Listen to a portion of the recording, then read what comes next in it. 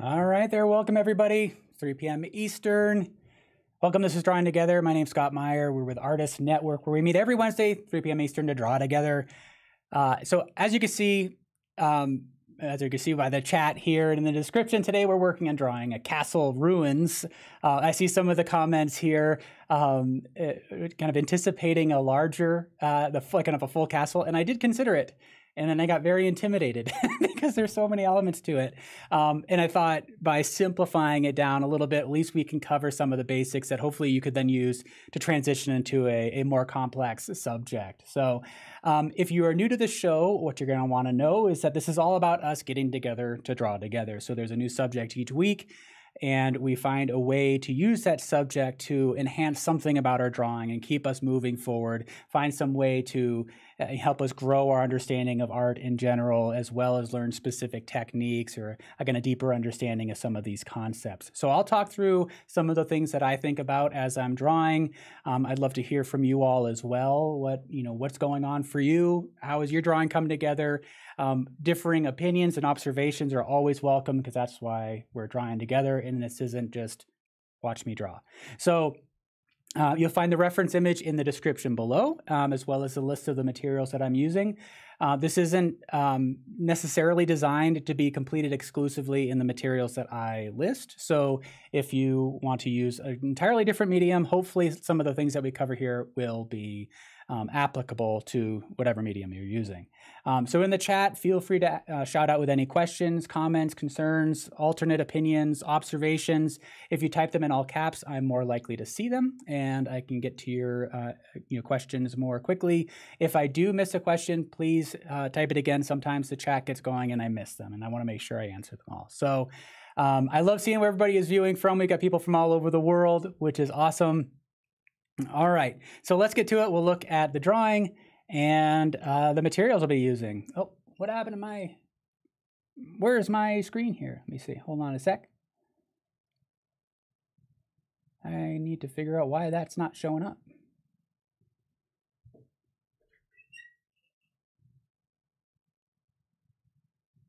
All right.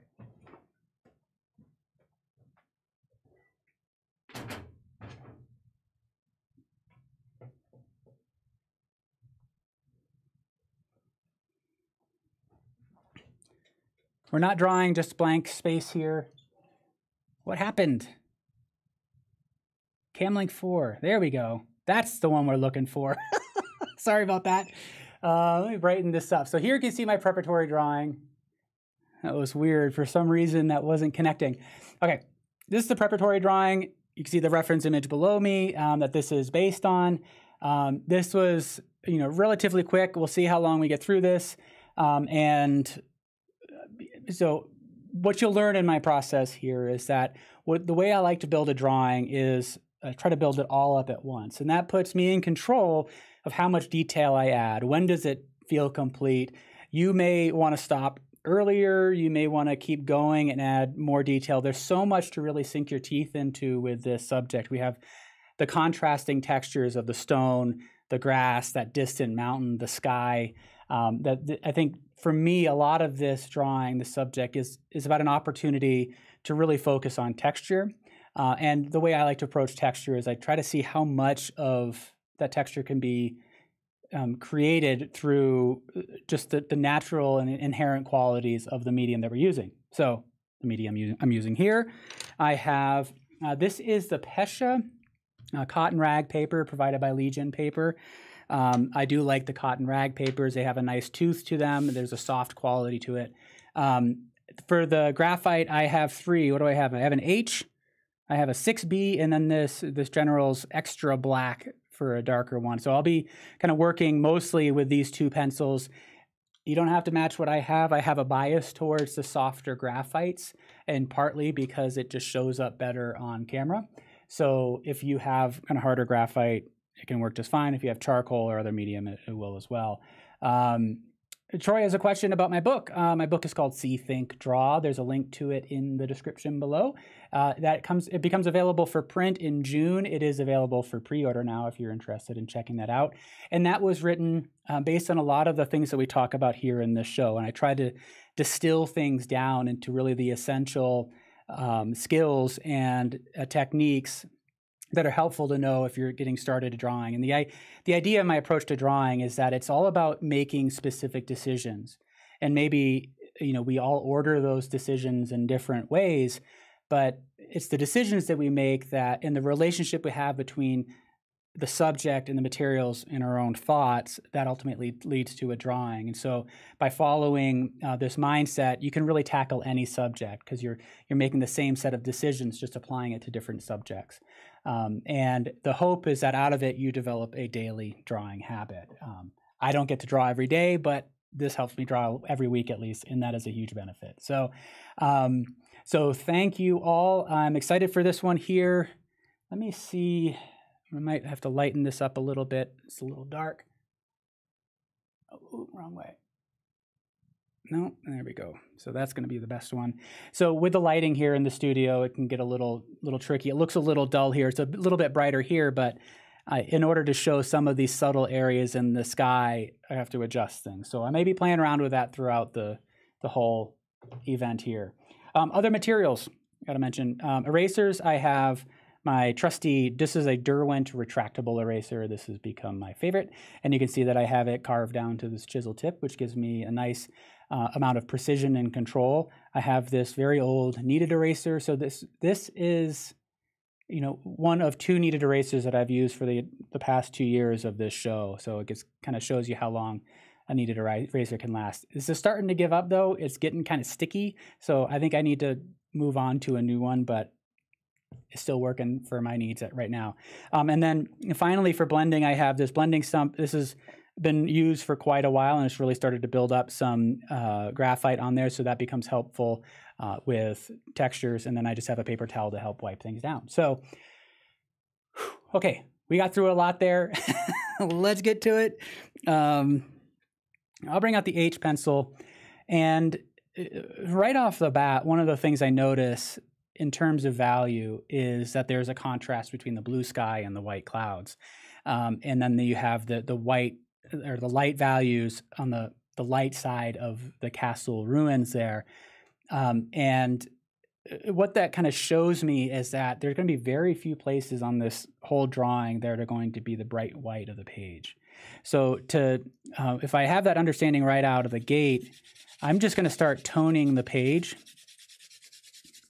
um, using this uh, using this H pencil, kind of just building up some tones using the side of the pencil, holding it very far back so that there's a very light pressure on it. Um, it engages the the broad side of the pencil um, core a bit more, and I'm going to just build up this tone. Actually, you know what? I'm going to switch to the 6B. I'm just going to go darker. Darker and softer. One of the downsides sometimes when working with the harder graphite is that it can emboss the page and kind of scratch it. It it's nice that it has this built-in light value associated with it, but um, it, like I said, it also scratches the surface. So I kind of like, I'm kind of feeling like today at least, I'm going to tone with the softer graphite, uh, which even though it's darker and perhaps a bit more aggressive, will hopefully float on the surface of the page more. So just toning the whole page. I need to alternate my marks though, so they're they're starting to build up a little bit. And I'm intentionally letting this hand kind of rub across the surface while I'm blending, so then it's actually smoothing out this area here. Uh, and I'm going to use the palm to spread that out because I'm I don't want to stop and grab the paper towel. Uh, and I don't want to use my oily fingers. If I use the palm, it works out a little bit better. And I'm not worried about, you know, a pristine surface uh, with at this stage. Um, this is all going to get messed up throughout the drawing. So now if I start with this tone, this is essentially going to become my sky tone and will erase out some of those cloud forms and some of the lighter values. And now I want to um, start to think through the basic composition. Again, using the side of the pencil and I'm going to be thinking about this in terms of mass rather than line. Uh, we talked about that last week when we did the Degas um, copy, is that provided a nice opportunity to really emphasize a, a linear approach to drawing. So we're kind of switching gears and focusing on building up masses and values. Uh, and I just want to first see how this all might lay out. Um, so, bad moments go. This is from where you are. That's awesome.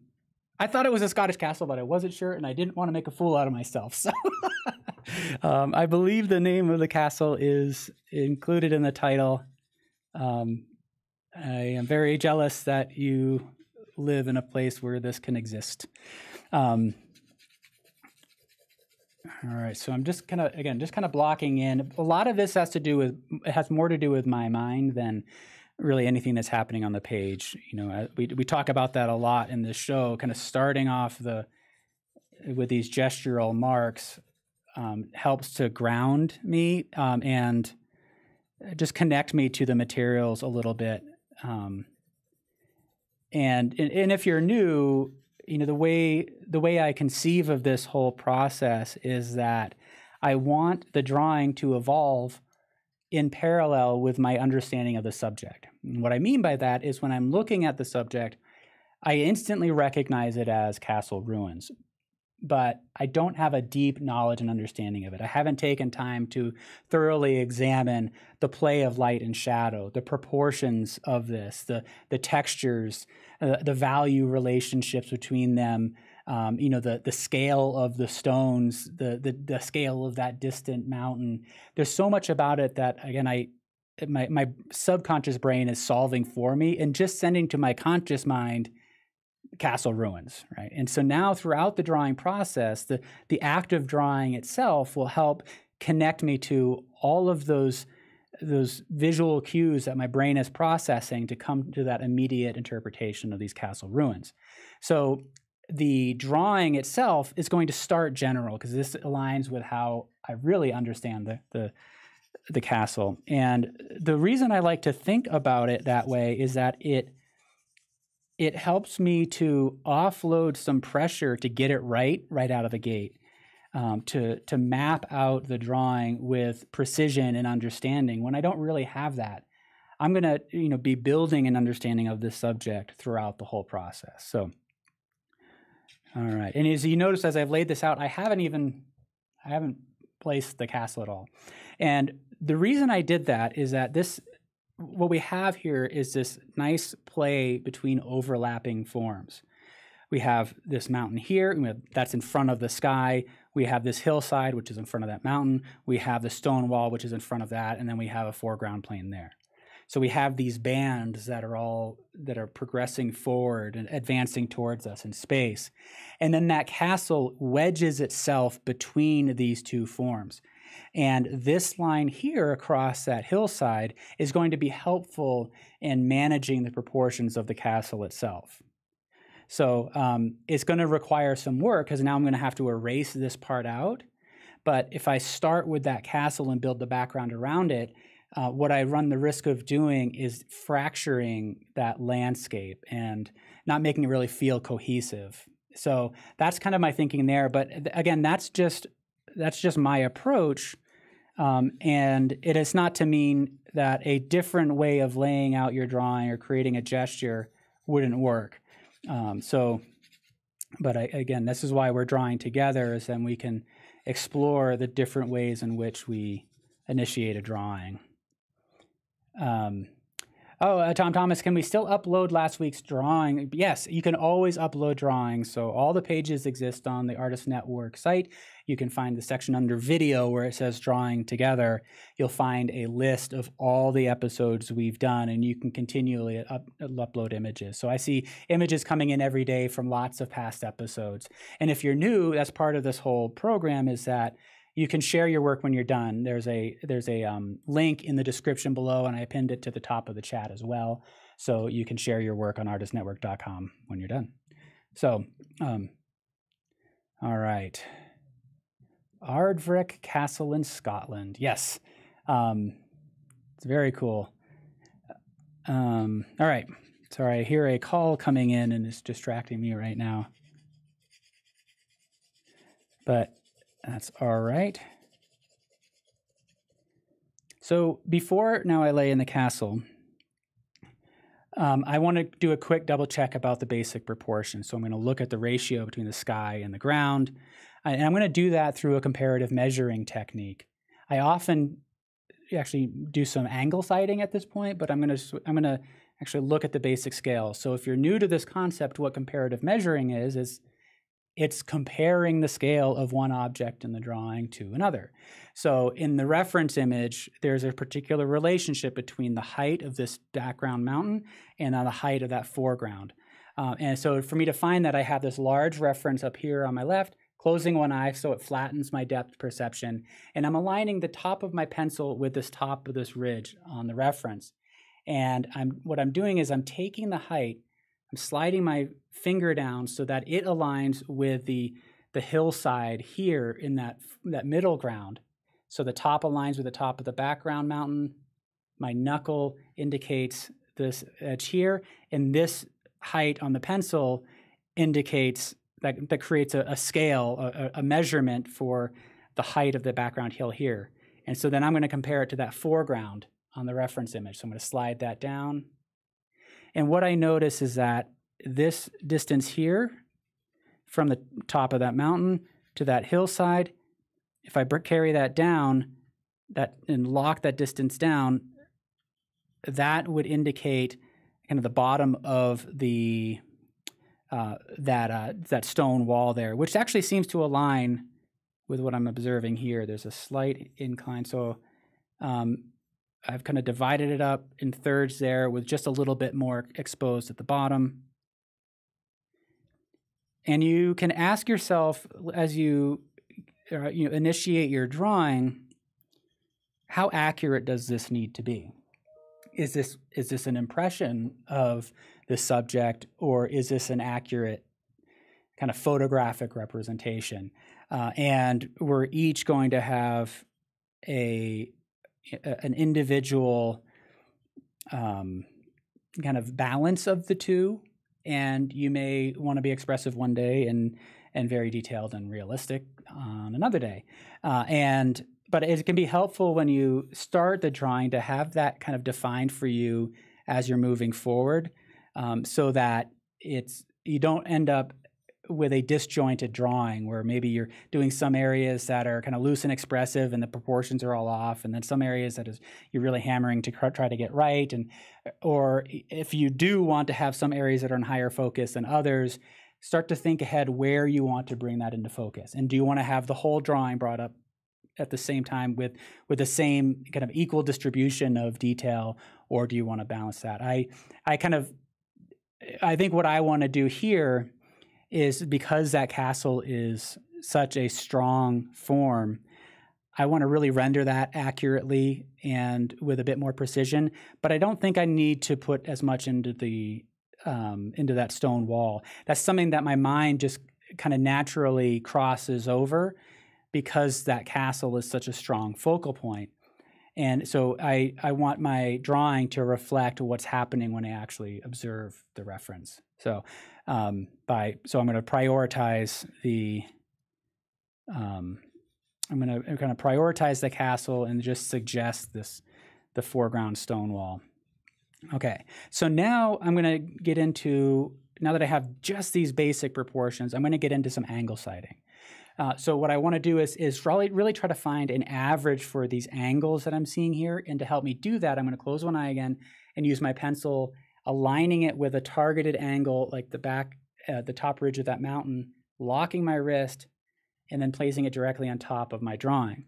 Um, and when I'm what I just did there, I have a drawing directly in front of me. I'm seeing what you're seeing because that, that overhead camera is capturing it. And so I can take that angle and visualize how the angle I'm marking on the reference um, correlates with what I have on the uh, on my drawing. Actually, I need to switch because this arm gets in the way. So, um, I think I need to kind of level this out. So I'm just trying to visualize the, the average angle, not observe the, uh, not observe all the little, you know, dips and bumps and valleys in those curves.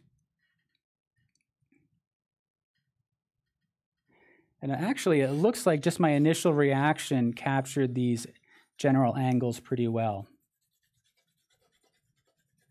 Um, I'm going to do a quick check-in on the overall composition at this point. Uh, what I am, what I'm looking for are these intersections here. Uh, on the, the way these forms are exiting the page. There's really not much exiting the bottom. Uh, so I'm going to actually emphasize this little tuft of grass here because that helps to break up this edge. Um, and I might, uh, you know, I might put a little bit of detail down in here just so I have a few more forms that exit the bottom. But really, this is a horizontal form. Um, when you look at the scale relationship between these forms, the, where the way they're dividing um, the left and the right sides, I'm looking for something that doesn't feel consistent, kind of evenly spaced, because that's going to help. That's going to flatten things. What's going to help create depth is that there's some variability. So we're going from large to small to kind of medium to small again. Um, and then by by breaking this up so that it's perhaps not the same proportions on left and right, it it's going to help to create some more variation and create more depth. You know, if if this black band was the same height as this, then it could be problematic. Um, and this is where you might fudge things a little bit um, it, from your reference. If you end up, if I were out on location and I was observing that these dark forms are creating kind of uh, replicated bands of value, I might try to drop down or lift up, try to change that relationship, get closer to the wall maybe to make that bigger than this or step farther back um, and play around with that until I find a spot that that really creates that variety that's going to work with me when I'm trying to create the depth and, and lead to a more interesting composition. Um, yeah, Nia is saying yeah, some people use um, charcoal powder or charcoal dust with a brush to get smooth surfaces. Um, I think that's a totally fine method. I don't. That's not something that I do. I just the idea of a smooth surface doesn't particularly appeal to my sensibility. Um, but I've also adapted in my marks to incorporate some of that unevenness. Right. I, I don't. I don't have a um, kind of a sensibility in my mark making that is really ultimately about precision. And so if you are more of a precise artist, then you might find that using powder to, to really create a smooth surface works with that. And you're not kind of fighting against it. Um, um, let's see. Okay, so now I want to uh, figure out the the placement of that castle and I think the first thing I want to do is I'm going to use that same measurement, the height of the hill from here. And there's a what you'll notice is there's a bit of a notch in this foreground hill, and then you have that that back ridge. If I create that height, I can compare it to the lateral distance from the left edge to the edge of the castle. So I'm going to use my I'm going to find that distance on the reference, turn, and what I observe on the reference photos, if I take this as a distance, um, the left edge of the castle is is greater than that that distance that I'm measuring. There's it's that there's that distance plus a little bit more. So then that puts the edge of the castle somewhere right around here. That that round part kind of extends just above the edge of that the the ridge line there.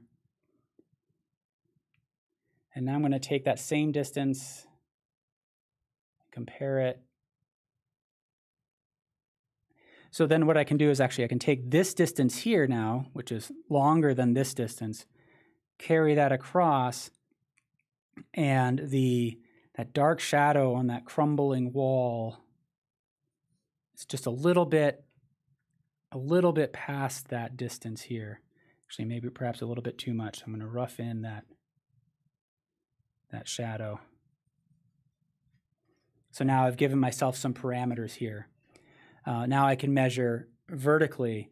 There's there's two different um, techniques that you can use to really kind of lock on the vertical height because what you're looking for is the proper relationship between the, hor- the, the horizontal measurement and the vertical measurement.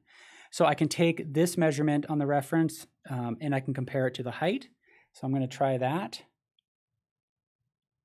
One, and that's about one and a half. It's about one and a half times taller than it is wide, um, based on the. Um, that's right there, based on uh, the, you know, the, the the marks that I'm seeing here, the dark shapes that I'm seeing, um, and then I can double check that by now visualizing a diagonal across here. And now I can angle sight for that. And this, that again, that's just a double, uh, another way to kind of double check the ratio between the height and the width. And what I'm seeing is that something is off. Maybe I just, maybe I had rotated my wrist. Actually, yeah, it looks like it's pretty well right on. I might have to adjust this as we go on though. So right now I'm recognizing that this is just a general mark indicating the top of the castle. Now to help me with that, before I start mapping out the the forms, I'm going to continue to think about this as an abstraction. Just looking at shapes of light and dark. So squinting my eyes, actually closing my eyes and squinting helps to, closing one eye and squinting helps me to see the shapes. And if you can, uh, try to trick yourself into just thinking of this as just shapes, these blobs of light and dark, not a castle. Um, because what can happen is that as soon as we identify an object and label it with a word, we start to project onto that all of our experiences with that subject. Um, you know, I've never seen this specific castle before, but I know when I was younger, I would draw this stuff all the time. And so there is a muscle memory, there's an understanding of how to draw a castle that's been built up throughout most of my life. And if I if I identify with that, that muscle memory, then I stop looking at the subject as much as I need to um, and there's a there's a potential for this to really become the memory of past drawings, not the immediate experience of looking at this subject. So um, by trying to you know remove the labels and the definitions of these subjects, you um, and and try to observe them as simple abstractions, shapes that are in relationship to one another. It helps me to um, it, it helps me to see this castle for what it is and not again projecting something onto it based on my past experience.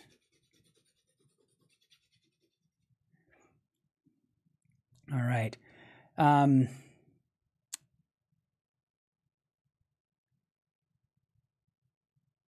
yeah, Jane is pointing out that there is some perspective going back on the stone wall on the right side, you have it going more straight across. No, exactly. Yeah, I think it should kind of decline there. So those are really good observations. Uh, feel free to keep throwing those out because um, then it'll help bring me back to kind of correcting those. Um, so at this point, you know, I think that you know what we're looking at is this general shape, and it really does start to kind of um, kind of pinch towards this side. Again, if we're thinking about it as an abstraction, um, just as a, a shape and trying to just lock onto that shape what is happening there. And I'm also not worried about my hatch marks showing here because there's so much texture in this wall. There's a good chance that the marks that I'm making here are going to serve me when I need to um, suggest the texture a little bit more. All right, let me smooth this out with a paper towel. That's my favorite part. Of the whole drawing is you know building it up and then taking it down and then building it up again and then taking it down. Um, what what I think about when I'm doing this is not, is not just smoothing the surface but unifying all the marks. Um, and you know what really so much what happens in the drawing process is that we're balancing um, the variety with unity. So what I mean by that is every time we make a mark on the page, we're creating a division. Um, we're we're breaking the unity of the white surface. Um, every time you do that, it becomes more exciting. But we also um, it moves towards visual confusion. So if there's too much division, if there's too much contrast, then it can become difficult for the viewer to make sense of it if there's too much unity, if there's not enough contrast, then it becomes boring. Um, and, and it may not um, really express what you're looking to express.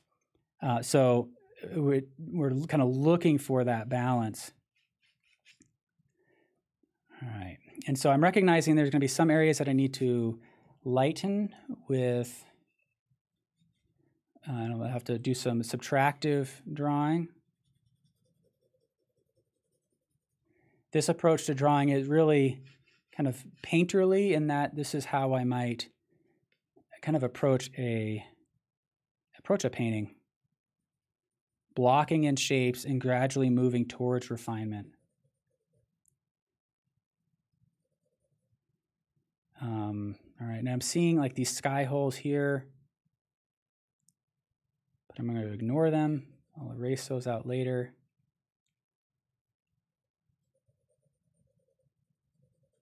And as the layers of graphite build,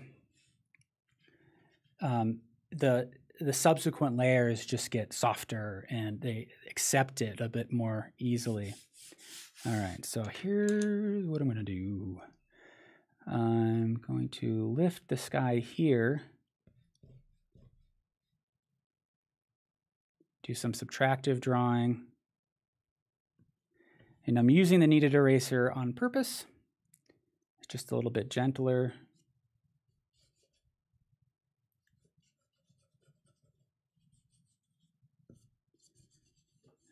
So kind of leaning in on it if I need to lift up more. Uh, but, you know, and then really, you know, lightening and lifting if I, if I've lift, if I uh, just need to pull up a little bit. Um, I want to play with the composition a little bit. This is something I do with clouds. So since clouds are generally constantly moving, um, I don't worry about locking them in precisely unless the reference or unless when I'm out in the landscape, unless it's really serving the composition. I think clouds are a great way to really enhance the composition. So what I'm looking at are the angles of the clouds relative to the focal point, which is this castle. So I've got these strong verticals here, I've got these diagonals.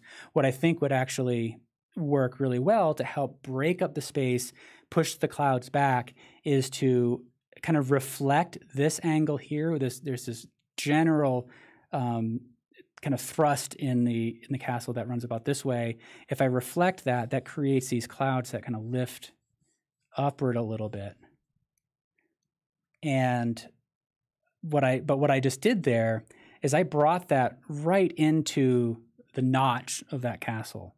And right away I can say that's not going to help me. That creates what's called a tangent. And when you have a tangent is when you have two forms that are in very different places, distances from one another, but because of your point of view, they appear to align at a single point. So a cloud that might be several miles away kind of aligns with this intersection here in the castle, and that's going to flatten things out. Uh, so to get rid of that tangent, I'm going to bring this over. Still think about the reflection of that of that general angle, but I'm going to create a clear overlap with that. Um, and now I've got this big expanse here. One of the things I like is that in these clouds, there's kind of a crisscrossing. And there's a bit of almost perspective here. You can almost envision a vanishing point off to the right. And there are these, you know, striations that kind of lead off towards that. So they get more horizontal over here and they become more um, angled as we move across the page.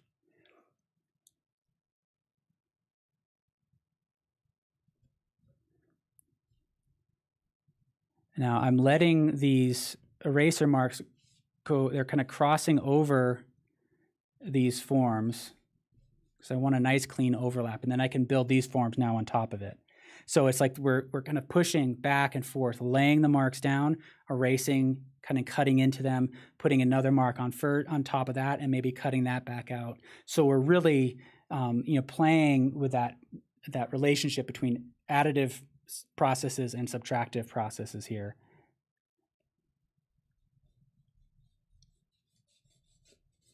And I want this to kind of lighten up a little bit more. Now, I, am expecting also that this is all going to get messed up throughout the process. I'll probably have to do this work on the sky area multiple times. Okay. Heather saying, Scott, I have used Bristol vellum paper, or have you used Bristol vellum paper? It's really interesting how it reacts with graphite and a charcoal, kind of having a tough time working with it. I, it's been a long time, and my immediate reaction, if somebody were to say, here's a sheet of Bristol or vellum paper, draw with it, I would get a little tightness in my chest because I just remember it being challenging to work with. Um, if I remember correctly, it tended to like grab the charcoal a little bit more. It's a smoother surface, but it almost feels like it it would embed a bit more. And um, so there may you may need to be a bit gentle with it, and you may need to be a bit more protective over some of those light areas. What I like about the rag paper is that when you're erasing, you're often actually lifting particles of the paper off of that surface so that you can get down to a brighter white. And I don't know as if that's really possible with the vellum. So I think that's my my my thought about it. But again, I don't really work with it enough to know. So if anybody out there uses Bristol or vellum paper uh, with regularity and have any suggestions for working on it, that would be a great thing to help uh, Heather with. So, um, and then have I used the 500 Strathmore um, paper? Yes, I believe. I've definitely worked with the Strathmore charcoal paper, and I believe it was the 500. That, that worked out really well for me. Um, the what will often happen uh, with uh, you know, a rag paper is made with cotton rag fibers versus other papers that might be a wood pulp. And in order, so this has kind of has a natural tooth to it, just because of the way it's made. You're you're you're creating this mash of water and, and cotton, and it's you're you're filtering it out. Um, you know, you're it's mixed with water. You're filtering that out, and it forms this nice kind of soft sheet that has this natural tooth to it. When you're working with a wood pulp, you often have to kind of create that texture. So, like a laid paper is created with a by the the mesh um, of the screen that is being created, and that that creates these little ridges in the paper. Um, and often that has kind of a regularity to the tooth. Um, that can actually be really interesting in some cases. So I find that when I when I'm using that to my advantage, that's when it tends to work out best. Um, and then some papers have a stronger, kind of deeper tooth to it that can be harder to work with. Um, but that tooth is really essential because that actually what holds on to the, the dust. And then I often find that that actually releases the charcoal pretty well. If I remember correctly, that Strathmore 500 does release it when you're erasing pretty well. So that's what I look for is, is that balance between the tooth holding it and the ability to lift with the eraser. Um, and then Tom teaches, my eyes want to see a curve on the bottom of the tallest stack of the ruins. Yes, there's this kind of curve here um, and then there's a slight cylindrical nature to this top form here. And then there's some nice structure here that we'll get into as well. Um, yeah, this is this is really cool to be able to see that cylindrical tower with this um, kind of cubic uh, form on top of it. Uh, one of the other things that I liked about this reference image is the play between light and dark um, relationships. So I can lift this here now and I'll kind of talk about that. So what we have in this section here is this alternating um, relationship where the sky is lighter than this, uh, this is darker than that, this is lighter than that, and then we have dark to light to dark, or darker to lighter to darker. So again, just thinking about the relationships between them. Um, I think in an absolute, this might be slightly darker in value here than here. So um, might start to think through that. And then of course we have darker here. So we have light a little bit darker, and this becomes light against this darker form, then light dark to light. So we have this really nice relationship between them that will hopefully um, eh, help to describe the, the form and structure of the, the castle here. Yeah, uh, Ramirez saying Strathmore 500 is very versatile pencil, charcoal, color pencil. That, yeah, that's awesome. I, I do believe that's the case. I just I don't remember names very well. Like I had to write the Pescia paper on this paper before the show so that I can remember it. so, um, uh, it, it was, it's like ice skating on smooth ice and then running into a dink and falling with charcoal on Bristol. That's really a funny, funny way to describe it. I, I get where you're coming from, Mo. Yeah, there's something about the smoothness. Um, that's why I have a hard time actually drawing on tablets. Um, I don't have a lot of experience, but the first thing I notice is that there's no real resistance, and I love the resistance on paper, um, and really feeling that that play between them. You know what's cool is we have special sensors in our fingertips that that telegraph texture as vibrations through a surface so that when you're drawing you're you have you have an understanding of the surface of the paper through your fingertips right which is really cool. It's be like you know driving you're holding onto the steering wheel you can tell what the texture of the road is. You know you can visualize the gravel or the or the the pavement or the the concrete that you're driving on because of those vibrations and because of those specialized sensors and so to me that's one one of the reasons why I gravitate towards national natural or traditional I'm sorry um, drawing methods, even though I keep really wanting to do digital art because it looks awesome. Um, and I see some amazing things being put out there, but um, I need to put myself out there, I think, a little bit more and um, experiment with it. Okay, now what am I doing? Oh, Stephanie, your family ruin is Scarborough Castle in UK. Yeah, we've got family castles as well. The there's a Goodrich Castle in our family that I really would love to go see. So, um, let's see. All right, I see everything. I'm not seeing any. Okay, Mars Lumograph graphite works well on Bristol. It's more of an oily graphite. Oh, that's a good thing. That's a good thing to, to recognize as well. Is that the material you're using could uh, vary. Okay um, back to this. I want to, what do I want to do? I want to focus on basic value relationships and then, then I'm going to refine these forms. So what I'm observing is right now I have this value relationship here that I'm actually kind of liking, but there's not enough separation between this distant mountain and that. Um, and so I think I need to darken this. Just kind of blocking it in so I'm not uh, I'm not refining that shape until I have a, a, a kind of a general understanding of the basic value relationships.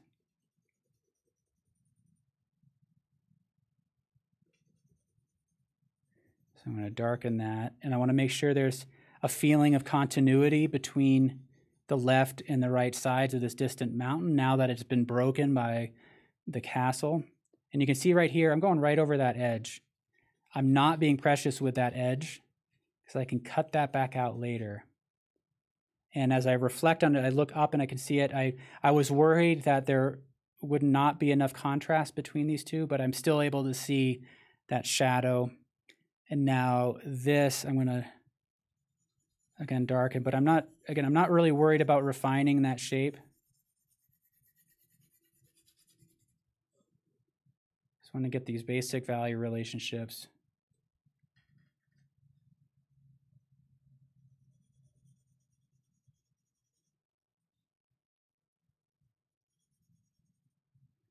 see how that feels. I like that. I'm going to, I'm going to drop in another cloud there. It's just one of the one of the things that I like to emphasize are just really clean overlaps. It's such a great way to create depth. You know, there's no, multiple tools that we have at our disposal to create depth in your work. You have, you know, really the three things are you have overlapping form. I'm sorry, four uh, overlapping form, scale, um, you have linear perspective, and then you have atmospheric perspective. Um, and for me, overlapping form really is an important one. Um, and in particular, looking at the point of intersections with forms that overlap. Um, so, for example, there's a kind of a landmark here on the castle. There's this little shadow here. Um, and then there's a bit of a gap here with the sky, and then the ridge forms. So you've got a bit of a staggering here. if this hill line aligned with this, we get a, another tangent, which is just going to flatten things out. Um, you know, we already have, you know, uh, we already have a disadvantage in terms of creating depth because we're literally working on a flat piece of paper. We're trying to create the illusion of depth here. So we have to use all the tools at our disposal to make that happen. Or if that's your goal, is to make depth, that is. Um, but so just kind of be aware of those tangents and repeated patterns, things like that, and make sure that you're you're moving forward with consciousness. Because there was definitely a time for years when I I was really attracted to those tangents and the and the idea of emphasizing the flatness of the surface. Um, to to not try to to try to create depth through color relationships um, and value um, and, and and intentionally create cha- uh, tangents that flatten the space. So uh, I just want to kind of put that out there that you know we we we don't have to if I can I can say you want to create depth, but that may not be what you want to do. There is no absolute rule here that every every drawing has to have a strong sense of depth. I think there are some things that can be very interesting when they they don't follow the rules. Um, so, but if your goal is to create depth, look at those those tangents there and look for those. Um, yes, and Stephanie's saying the core shadow um, tells us a tower is a cylinder. So we'll get into that. We'll talk about um, the light side, shadow side. We'll talk about the form shadow there. We see a bit of a cast shadow here and shadow shapes as well. So I'm glad you brought that up. Um, it's a really good reminder. And when we get into that shadow side, we can talk about how to really create that sense of volume when we don't have a lot of information available to us. This bottom of the cylinder is obscured, and then the top is essentially at eye level, so it's, it's appearing to be flat. So it's this transition it's that gradient that is really all we have to identify it as a cylinder. So that becomes really critical. Um, okay. What am I doing? All right, I'm going to work background forward. I'm going to smooth this out a little bit, just a light pressure with a paper towel. Again, going right over that edge. Um, overall value is working out pretty well. And then what I'm going to do is just kind of refine the profile of this hill. And um, I'm just going to move through this quickly. I I could um, I'm not going to really be all that concerned with matching it one to one. Compositionally, though, right now it's a bit problematic because I feel like I have these regular bumps. So what I want to I want to um, emphasize is an irregularity. So create some variety there. I'm going to carry this across and do the same.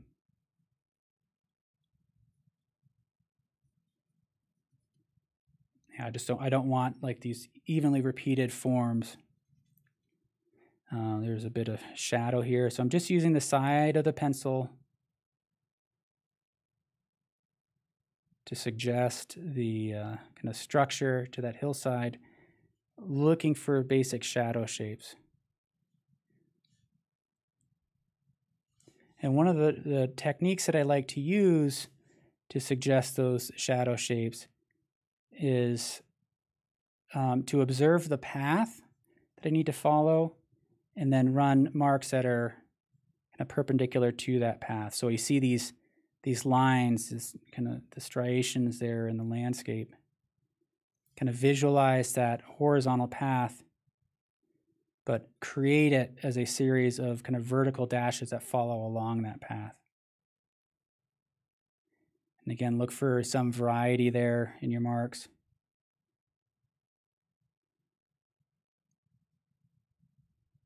just going to suggest them and then just evaluate does it does it convey a sense of light and shadow now?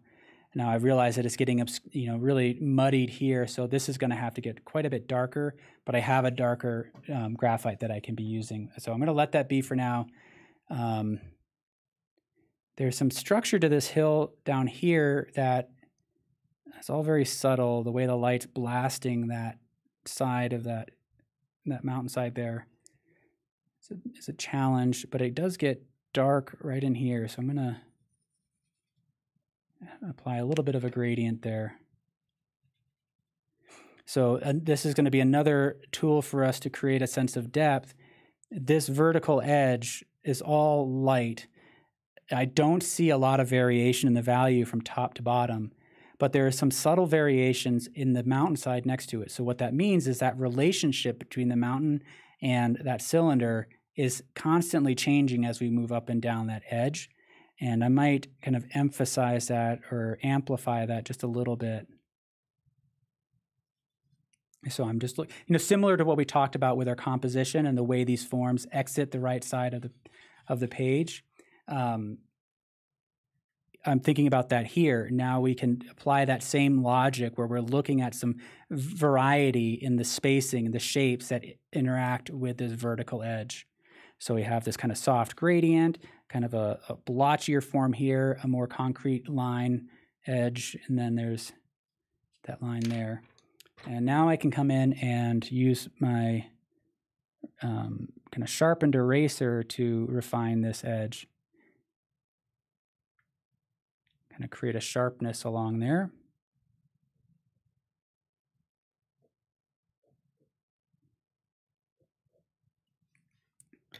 Clean that up. Okay. Uh, Tom teaches, do I use Blender for digital art? I do not. Um, I have spent very little time working digital art, mostly just stuff on an iPad. Um, yeah, and Nia is saying a really good comment. There are so many new supplies in art stores that I get pretty overwhelmed going there. I like to go in knowing exactly what I want and need. Otherwise, I get easily distracted or confused. It certainly gets overwhelming. And I know um, the materials we use can ultimately be kind of habitual in nature. Um, I know for myself, I would often, you know, I you know I started out kind of experimenting, you know, based on what other people recommended, other you know students or professors. Um, but then, you know, I would you know some materials I'd have more success with than others, and it's often the the materials that uh, uh that we're using when we we feel like we've had a successful um, experience that we tend to go back to. We attribute the success to those materials. And then once we find that success, it's really hard to break it. But um, I also get bored very easily, and I'm constantly adjusting my palette um, when I'm painting to try to new find new color combinations. Um, so just lifting a little bit of, of light along here so instead of drawing a line here with the eraser or subtracting that line, I'm observing that path, but creating it through a series of these shorter, straighter marks. And now I can kind of lift over. Actually, I want to.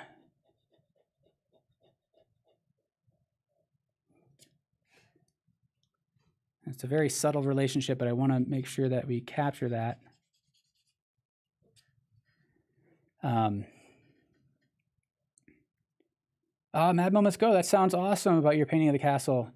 Um, so right now the pencil I'm using is this General's Kimberly. It's a 6B. That's what I've been using for almost all of this drawing.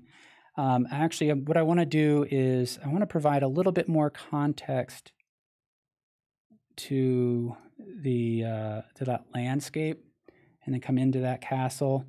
So I want to. I'm just going to look for these shadow shapes Again, using the side of the pencil. I forgot to mention that, you know, part of the process when I'm using the side of the pencil is to continually rotate it as I'm going um, to keep that fairly cylindrical and prevent myself from getting a flat edge. And, and also, you know, you can see that it, this, this has got many planes on it. And that leads to a certain amount of irregularity. There are some things that are kind of out of my control. And I like that, especially when I'm trying to suggest shadow shapes, because in nature, there are very rarely any um, you know, clear rectangular forms or geometric forms. And so by um, by intentionally creating a, a, pencil that is is not a precise conical form, it gives me the opportunity to create kind of some unexpected and unplanned shapes. So I'm just thinking about overall shadow shapes. Um, also, um, I'm paying attention to where I am in relationship to the whole. I'm not really measuring where I'm at, but I'm I want to make sure I'm generally working in the right area because it's so easy to get kind of sucked in, into and absorbed into the the mark making in one area and forget to kind of double check you know where we are. I also want to be aware of kind of cross contour. What is the structure of this hill? And how can I orient my marks in a way that reinforces that structure? Uh, many of you reached out after the Degas copy and suggested Van Gogh as uh, somebody that we copy. So I did find a reference. So um, uh, coming up in the next couple months, we'll be doing a, uh, a, Van Gogh copy. But he is somebody that I observed really emphasizes cross contour marks to reinforce the volume of a form. He gets very direct with those marks.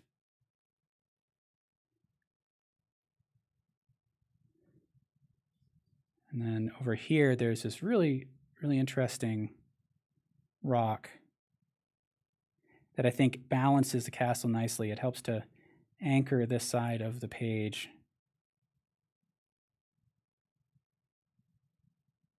And it casts a little shadow across the ground there.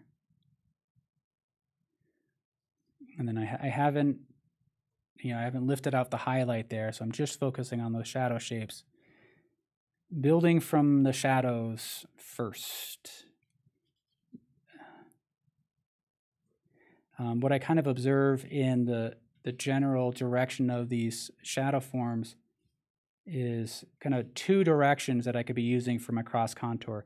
These marks that come down this way and then marks that curl back that way. It reminds me of you know, one of the things we talked about in you know, several episodes ago, you know, as I try to think about what are you know, if I if I if I were to try to teach drawing and I could give somebody only two kind of words of wisdom, what I think are really essential that would really help to move the drawing. Um, I've been really contemplating if it would be valuable to just focus on what's the shape and what direction do I need to make the marks. Uh, and then from that, it can build into um, an understanding of a lot of different aspects of your subject. If you just study the shape and think about what direction you want those marks to go. I don't know if I really believe that entirely, but it's something that I'm kind of toying in my with in my mind. Okay. I'm going to and so in something like this, I'm going to pop that that edge forward by dropping some little marks on there. If I zoom in, I can't quite go across.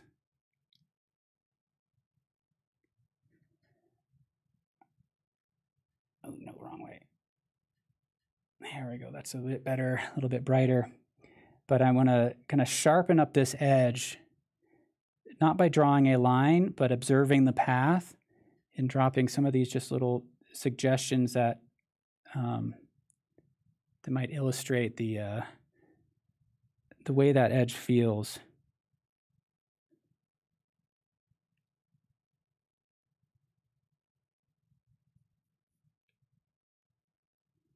If I come down here, I can do the same. So just using very small kind of value relationships.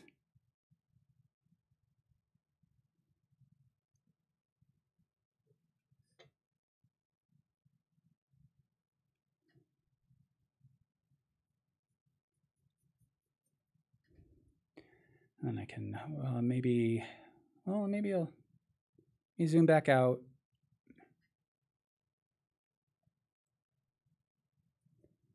I'm to lock that down a little bit. I'm to just erase out some of the, the light on these rocks here. Not being very precise.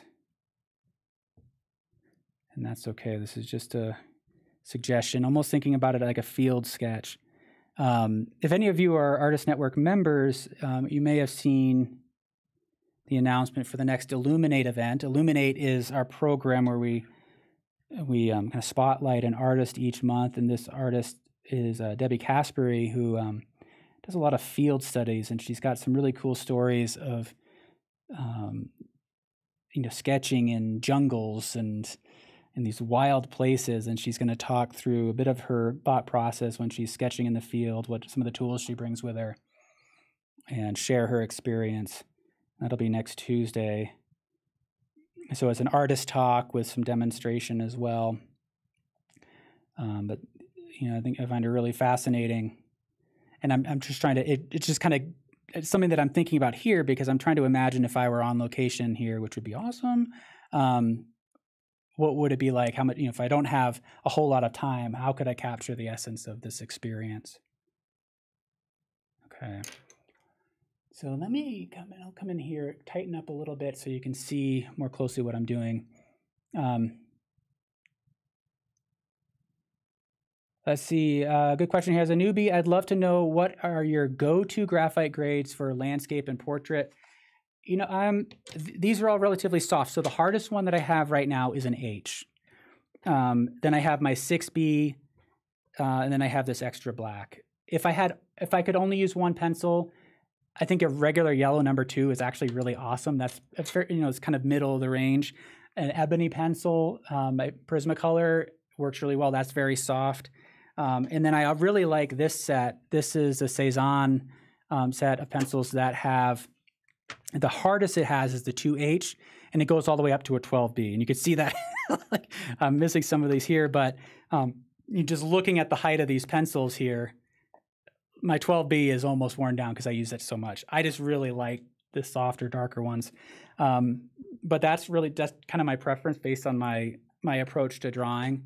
Um, so I, I think for for you, if you're just starting out, try to get a variety. But I do think it's important to to have something that gets really dark because what happens and we can talk about that here in the context of this drawing is is value is understood in our minds as a relationship. We don't have the ability to interpret a value in isolation. You know, it's like somebody who has perfect pitch can hear the frequency of a note and identify it as an E or an A or C or whatever.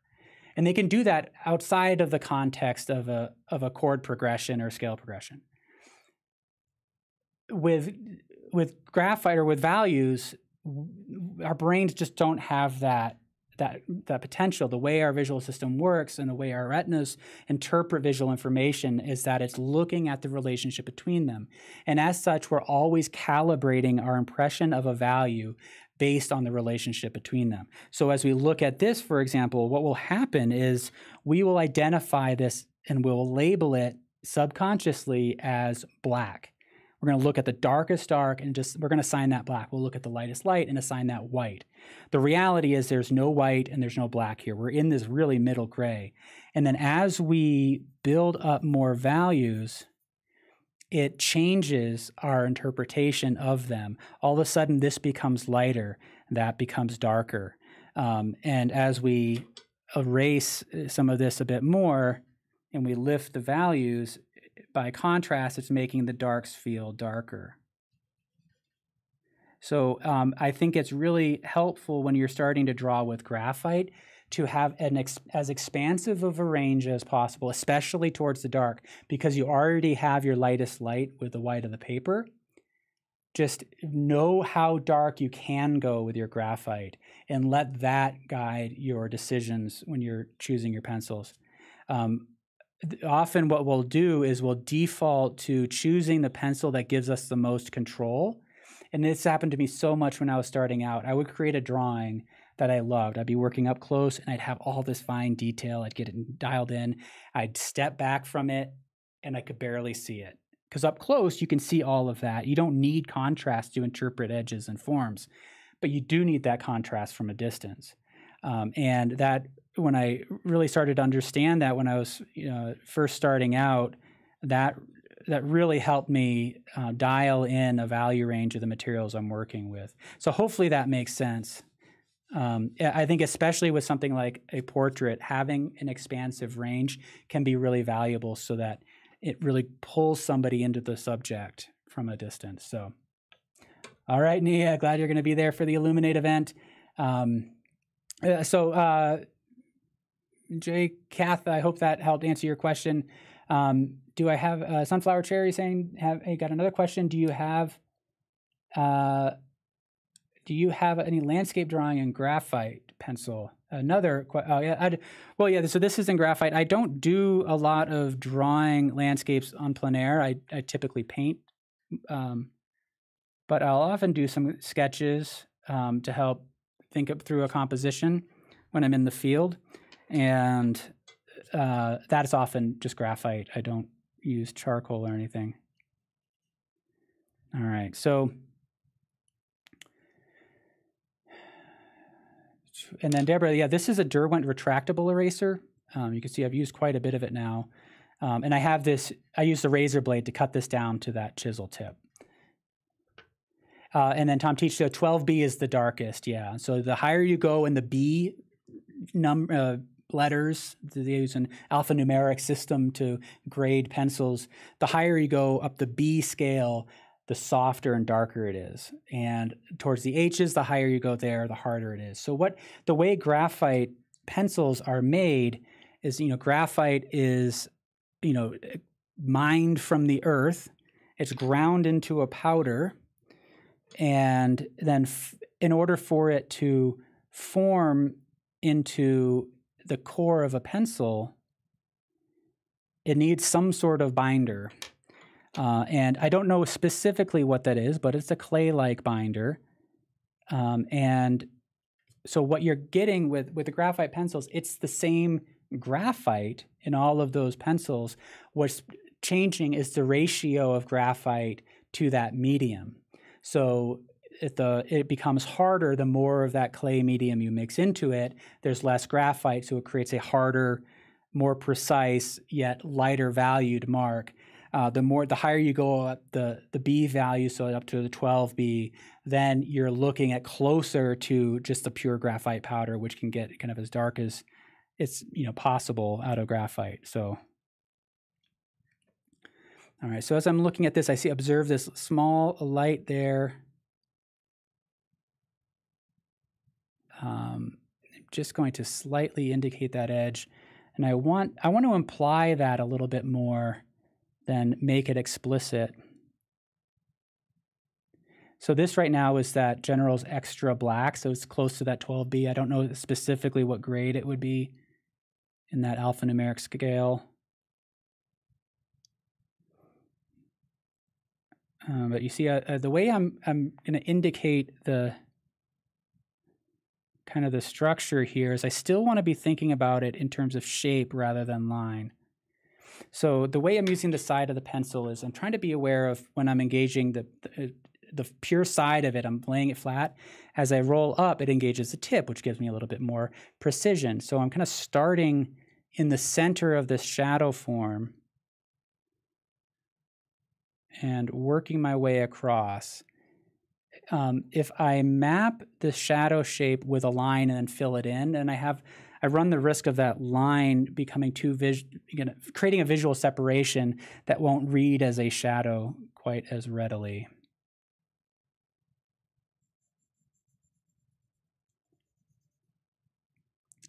As I come up to this edge, if I needed to be sharper, I can just roll my my wrist a little bit to get that harder edge.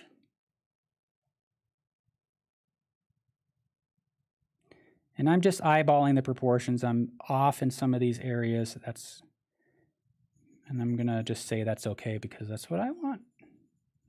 You may not want that. I just I want to make sure I'm being mindful of everybody everybody's time.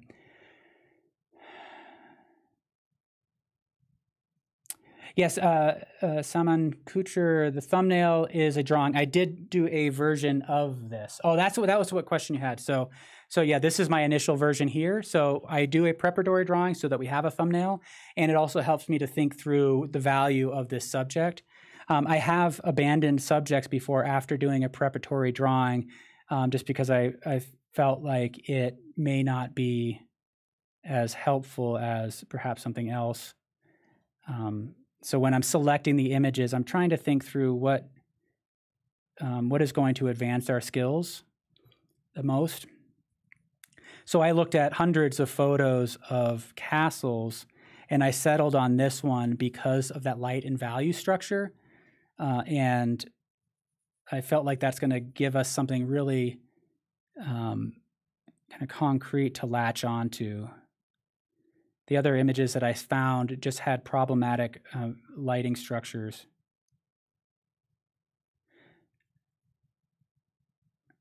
All right, so there's this little sky hole here. And I can refine. There's another one right here. So when I'm when I'm thinking about those sky holes, I'm, I'm intentionally erasing more than I need and then cutting back into it, trying to observe that specific shape. That was a good question. Thank you. Um,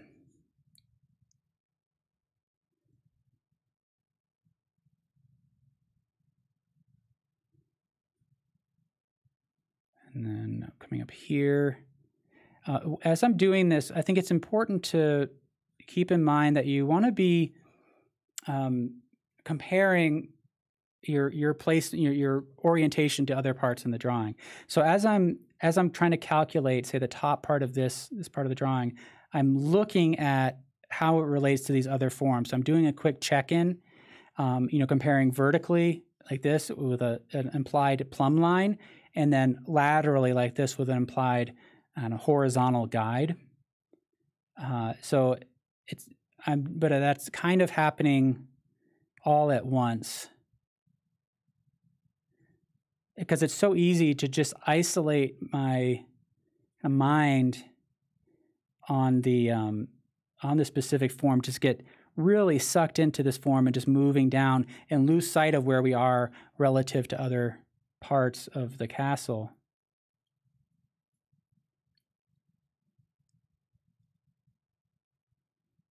So um, just make sure that you're keeping an awareness on the relationship between your forms. And I'm going to adjust the shape of this a little bit um, through some of the subtractive drawing. And now I've got I've got a bit of a problem with value relationships here. So as I look at the value of the sky, and I look at the value of this light on the that broken piece of castle, what I observe is that this it's a little bit darker on the castle side here, but then it feels really light over here. So I need to be very subtle in this section. And actually what I'm going to do is just block in that value. And you know, you saw me lift that value earlier, but let me see what happens if I block that in as a darker value than the sky. Can I create the impression that this part here is lighter, not by lifting with the eraser, but by darkening the shadow adjacent to it? And see how that reads. And if that's not quite enough, then I can I can always lift with the eraser here, kind of pop that that edge. Hopefully that made sense. And I do want to kind of sharpen up some of these areas here. Um, it's a little bit darker on this inside edge of this wall. And looking at the direction of my marks, I'm going to prioritize the vertical nature of these marks. And there's a blotchy kind of quality to my hatching here, which I think is actually working to create the texture. So I'm trying to let the materials do the work.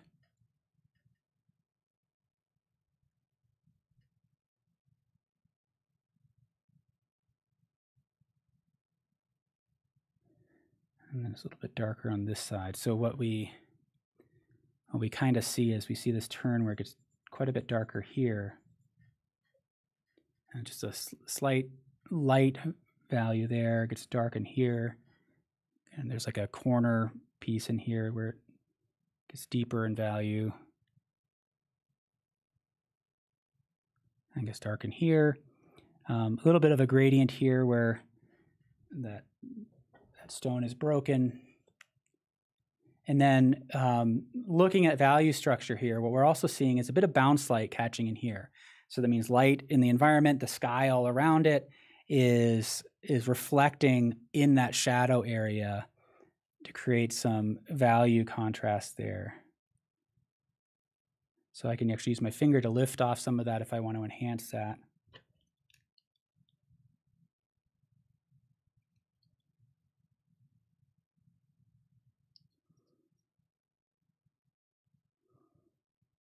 So we said earlier that you know we're working these edges, um, you know, at both additively and subtractively.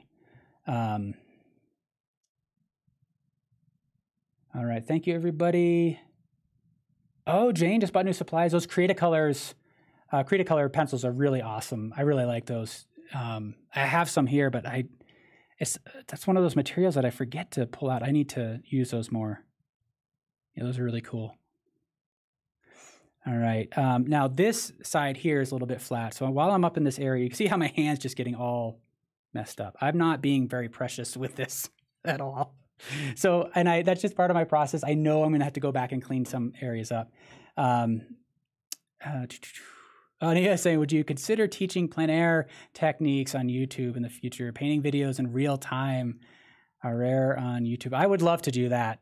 Um, it's a challenge to do it on plein air because of bandwidth and you know just getting a, a, good enough cell signal to be able to stream. But I do have a plein air video on Artist Network that just talks about some of my techniques. It's it's a bit old now. I'd love to do a new one. Okay, what do I need to do? So just as I step back, there's just not enough value relationship between these. So I'm going to darken this, but I'm going to go switch to the H pencil and now to actually fill that in. And I've got the darkest dark here. So I want to sneak up on the values. Kind of change my marks up and and actually where it feels darkest, if you have a hard time seeing the value relationships, really squint your eyes. Um, that'll help with that. And what I what I see is this general darkening towards the outer corners. And actually, I think I need to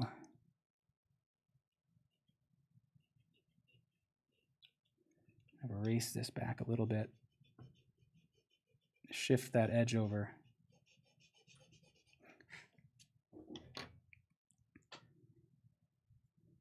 Uh, there's a there's an interesting change in the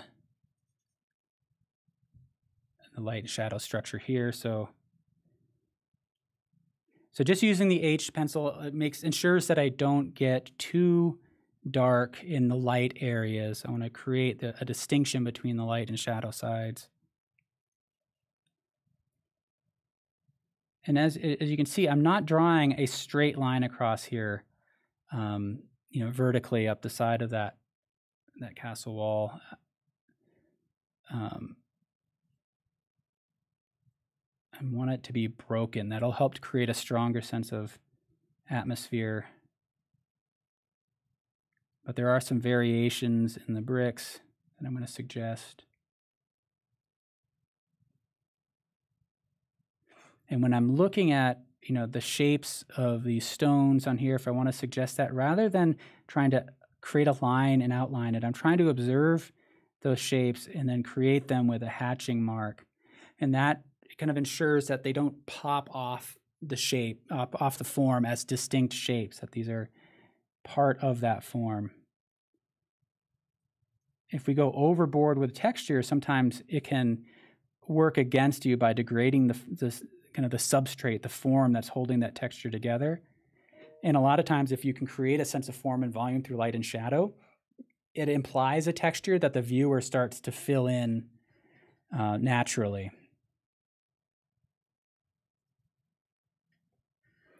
And then I can also do that with the eraser here.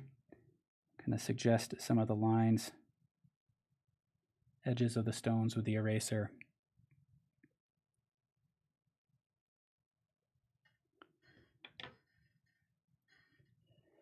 All right, let's see.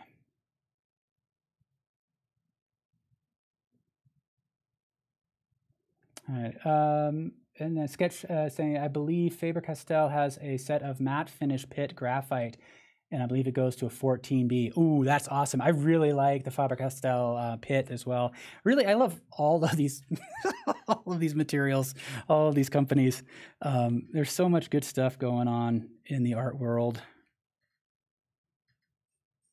I feel grateful that we have art companies out there that really take the time to develop products that artists want to use.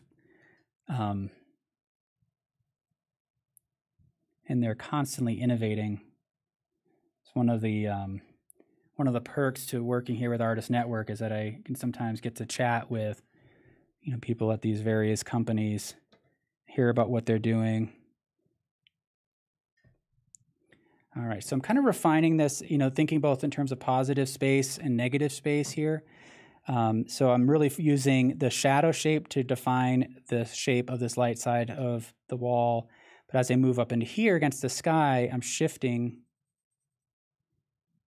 to uh, this H pencil a little bit harder to define that edge. And I'm not, I didn't really get that form quite right. That's okay. So now I need to ask myself, is it worth fixing? I'm like, no, I think it works okay. And that's because I want to move this thing along. Samantha said you keep blowing on the screen every time I use the eraser. That's awesome. Um, I'll try to keep that clean for you.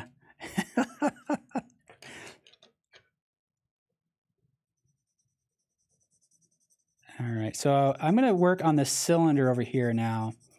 And so as you can see that I'm, I'm looking at this shadow form and I'm, I'm ignoring this edge here. What I want to get right is the the transition in value. Remember what I said earlier is that we we don't have a lot of information about the cylinder because the bottom and the, the bottom is obscured and we're almost at eye level at the top. So really the only thing that helps us to really understand the cylindrical nature of this form is the fact that there is a gradation of value. If this was a hard edge, it would suggest to us that there's actually a right angle or close to a right angle there. Um, but because of that gradation, we know it to be a cylinder. So I'm working that transition. And what I want to do, I'm going to kind of blend it. I'm going to lift with the eraser. I want the lightest light to not be up against the edge, but maybe just set in a little bit from it.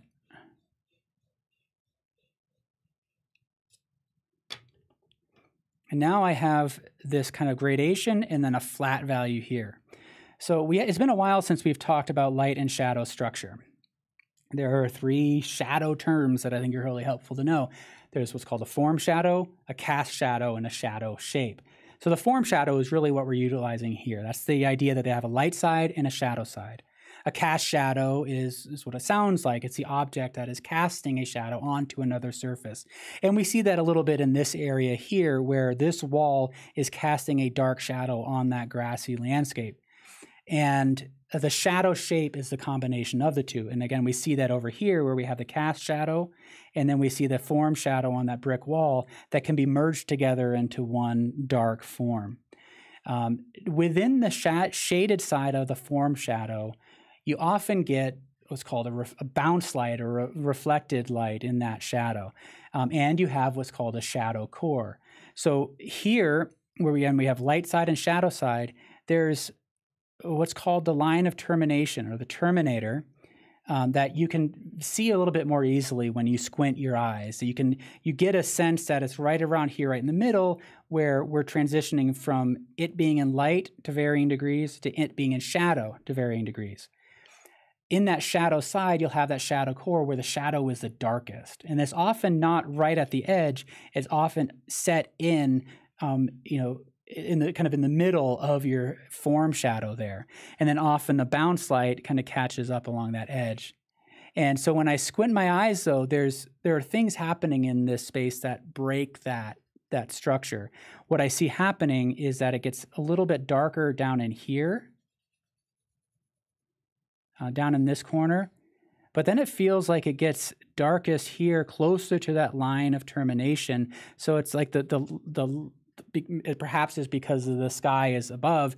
We're getting some bounce light in this area, but we're not getting as much in this corner. So we're we're we're not getting any bounce light in the corner, so that stays dark. But there is um, a slight reflected light um, here. Now, I what I want to point out though is that I'm not erasing, I'm not lifting out that reflected light. I blocked in the value and I'm creating the impression of that reflected light by darkening the shape around it, next to it, that shadow core next to it. It should be subtle. Um, if when it's overstated, what can happen is that you end up confusing the viewer and thinking that the light here is actually a highlight if it's too light. We want a clear distinction between light side and shadow side, and within that shadow side, subtle variations in value. So in no way would that reflected light be as bright as that highlight. Um, only in really kind of extreme lighting situations would that reflected light be as bright as the highlight. You know, then it would be actually a secondary highlight. So hopefully that makes sense. Um, and uh, as I'm working this, you know, this the quality of this gradation says a lot about the surface. The sharper an edge between light and shadow, the smoother the surface, right? And you observe that in glass forms or mirrors, reflections, things like that. Um, the the more broken that and more diffuse that that value, that gradation, the more matte or you know the least reflective of that. And because this is stone it's not reflecting a lot of light um, and it's actually it's an irregular surface where you get all of these bumps and grooves. So i'm using this horizontal orientation of my pencil to align with the generally horizontal nature of the stones but then dropping the marks down as vertical marks to align with the vertical quality of them. It's a vertical wall um, you know, and if you were to be, if this were a brick wall, you might have much more distinct and repeated kind of patterns there. So I'm creating just these irregular marks that suggest the stones. And as I move into the light, really just lifting off and kind of trailing off a little bit to suggest that stone. Um, Deanna is saying, I have three electric, uh, only one works well. Yeah, I've I had electric erasers for a while, but I I just stopped using them. It's just the habit of using the non-electric ones. Okay. Um, Tom teaches that I do I do describe the shadow structure in my book that you know, again will be coming out in June. Um, I don't know if I have it written anywhere else though. Um, but what I want to do is like when I squint at the reference, there's greater similarity between the darks here and this, uh, the cylindrical part. So I'm going to create a value wash here, try to darken everything.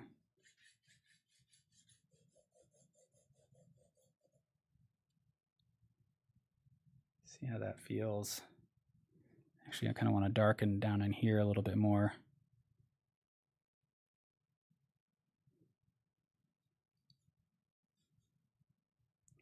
And then what also what I need to be aware of is that this may not be actually getting darker down in that corner. It may feel darker as light catches more kind of a stronger light in that corner. I wanted to say more strongly, and that didn't sound right, so then I get caught up in my words there. um, ooh, 100 day art project. That sounds awesome, Jane. Um, Yeah, uh, believer keeper. Yeah, well, I'm going to continue to talk about the stones. I think as we as we build this up, I'm mostly really textures. So much of it is about light and shadow. Again, we can convey a lot of information about um, texture just through really understanding the transition between light and shadow. So I want to get that right, and then add texture um, gradually if I again, it, for me, what's most important is to maintain that underlying structure. Because if if we apply a texture on top of a weak structure, then it actually creates visual confusion for the viewer. Uh, so we are uh, in this. I'm trying to maintain that sense of structure, only adding texture in a way that hopefully contributes to the structure and not detracts from it. So I'm going to switch. Oh, actually, I have the pencil that I want. I want to indicate the shadow side here.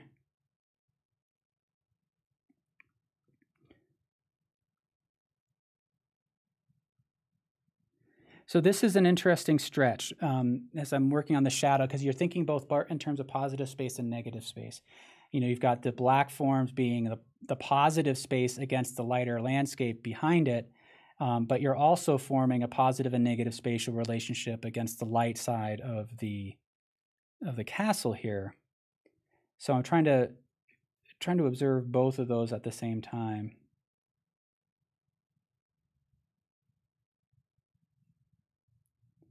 I have to get those windows in. And this is really cool here where the that hillside integrates with a castle. It's you know, it's like it's it's become one with the landscape.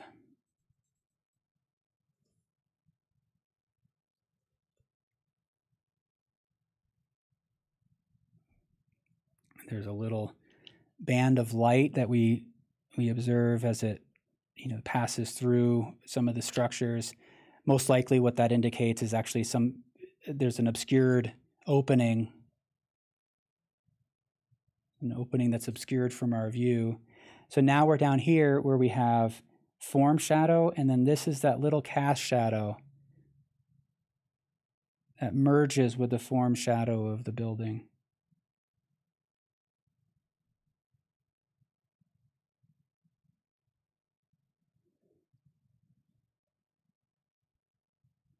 I love how here it kind of undercuts a little bit.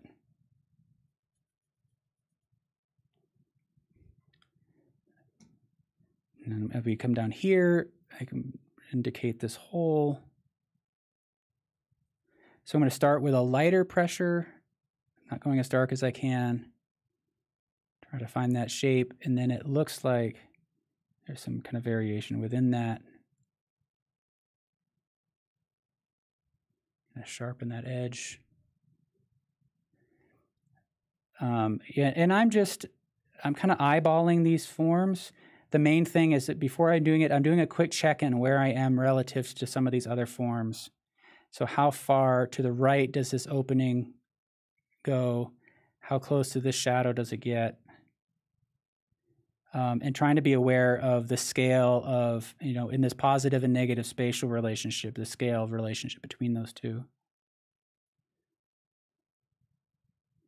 Observe this distance here. Uh, I'm not going to measure it, but I want to at least eyeball it so there's an awareness there.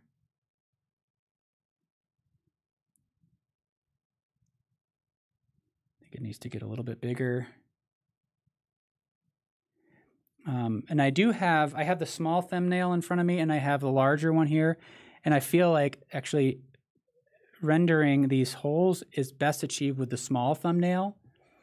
Um, it, it just, I feel like I observe that shape as, as a distinct shape more clearly. Okay, so now let's work on that texture. Um, going to get some questions really quickly. Darks are light in the light and dark in the dark. If your reference image doesn't have enough shade and shadow to define them, make stuff up. I think that's a great idea. Um, yeah, I, I, I have a one of the things that I need to try to break, I think, a little bit is that I tend to adhere to the reference or the the live landscape in front of me, and and every artist has kind of a threshold in terms of what's acceptable in terms of making up things. Um, and the the trouble that I get into is when I'm out in the landscape, I think of it more like a portrait than anything. You know, I'm trying to capture that specific place. And a lot of times, and I think what makes a portrait work is really, uh, you know, paying close attention to proportions. Um, and you know, especially kind of profiles, getting it right because we we're so sensitive to those things. Um, what that does though is it traps me into doing exactly what you're talking about, kind of pushing shadows and light to create the volumetric form that can be helpful for the painting.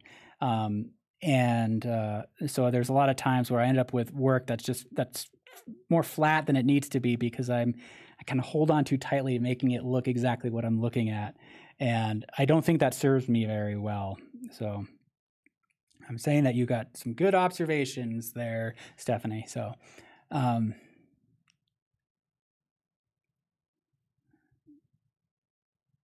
know, like so much of drawing, the thing that I value in the drawing process and, and painting as well is that it helps me to become aware of my what I bring to a, an environment and into an experience, what I'm projecting into it that may not be there.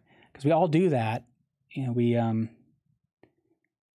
the way our visual system works is that we anticipate things. We um, for the efficiency of our brain's energy systems, it's it's, it's more expedient for us to essentially hallucinate and invent what we expect to see in the landscape and then reconcile that with the optical information um, it, rather than treating every experience as purely unique and unbiased it, bias is inherent in the way we view things in this world, the way we experience things. We do that with taste and touch as well.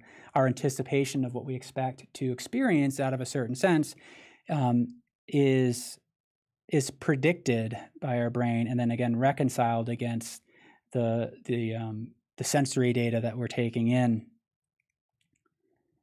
And um, and so I love that drawing kind of does that. You know, we, I realize, oh my gosh, I you know, it felt one way, or I, I saw it as one thing when it was actually something different. And we actually do that. Like we we will physically see something incorrectly because of some the way we we project into the the landscape. And that's something we should be grateful for because it allows us our brains to function efficiently. But drawing and painting helps to just illuminate that the, the biases we bring to it. Okay.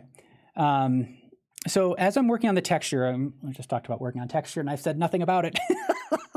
um, so again, to keep in mind what I said earlier. This is where the direction of your marks really plays a role. Now, what I'm looking for are really these thin shadows uh, that help indicate cracks in the stones, and trying to understand the general orientation of them And so if there's a horizontally oriented shadow, I'm going to try to visualize the path it goes on to, but I'm going to create it by dropping vertical marks down. It reads more like a shadow that way than a um, than a line. If I draw lines, then what happens? A line is a line indicates the edge of something. Um, and it, you know, it, we we tend to interpret lines as contours often. Um, and I don't want anything in the center of this form to read as a contour because it's not a contour, it's on the surface of that. If anything, I can drop lines in along the edges and it'll work out fine because that is that is the contour of the form. So um, but and all, another thing that can help be helpful to do is really keep squinting at the uh, at the form the impulse when we're working with texture is to look harder and sharper focus. But what that does, especially in the center of your focus, it prioritizes detail over value relationships. It actually heightens the value relationship from what it actually is.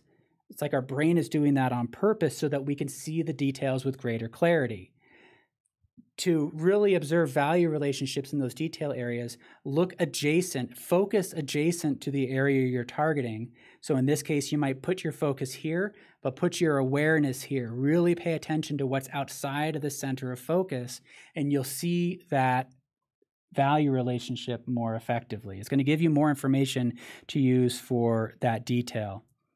Um, that's one of the reasons why you know often see work that is um, using detail in such a way that it just pops off the page, it degrades from the form, because that's what happens when you look intently, really focus on something. Again, we when we're in that mode of looking closely at focus, it's all about understanding those details, and so we st- we kind of create an inaccurate impression of those value relationships. Um, you know, it's just like you know in Photoshop, boosting the contrast and kind of blowing out the contrast in something. You're going to see those edges more clearly. Our brain is kind of doing that all on its own. Um, you know, the the different parts of our retina um, a, a, um, interpret value, color relationships, and details differently. So, um, so now with the eraser, I can start to suggest some of the lighter areas on the stone, little dots and dashes, and I try to limit myself only one mark at a time before I make an observation and then make another mark because it's so easy for me to get into a rhythm and start just going drop, dot, dot, dot, dot, dot, dot across the stone. I'm going to make one stop, look, find another one, indicate it. Even if it's not accurate, you're reacting to something in an individual way. Um, I do want to add a little bit of texture on this side of the stone. So hopefully that makes sense. What I'm saying about um, texture and observations. All right, so I need, I'm gonna move over here. I've already erased this part of the hillside a couple times and I keep smudging it. All right, I'm going to, there, drop that down a little bit. That's probably better. So now I need to reestablish that hillside.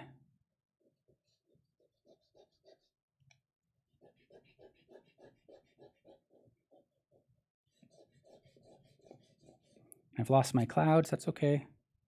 Doesn't take long to reestablish them. I'm actually gonna, I'm gonna come back to that later um, because I may end up smudging again anyways.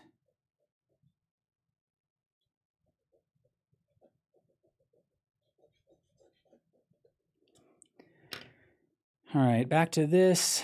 I'm to drop in a darker shadow here. To reestablish those just quickly. Um,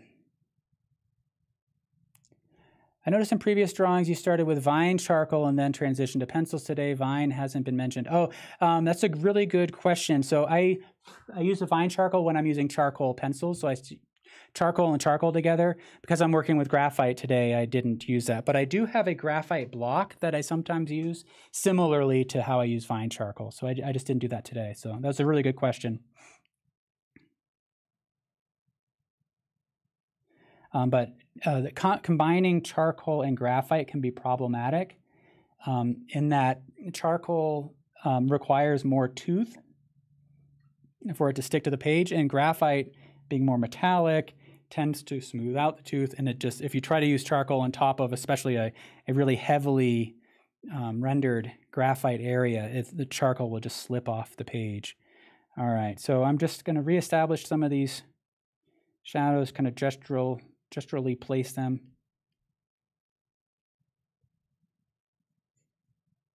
using the side of the pencil just try to suggest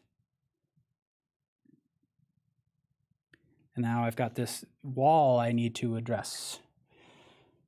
Um, something is bothering me here though. Those diagonal marks are too visible.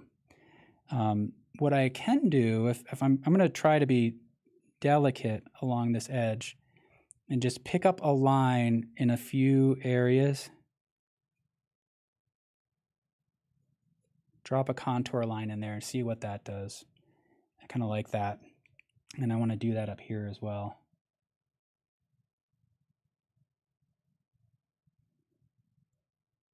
Just to bring a little bit more clarity to some of these forms.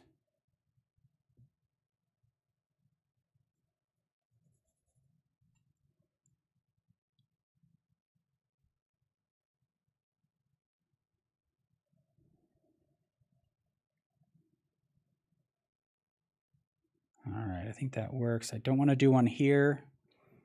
Um, But I think I want to see what happens if I drop a that line here. See if I can pop that out a little bit. And just bring that out a little bit more with just a few dots along that edge.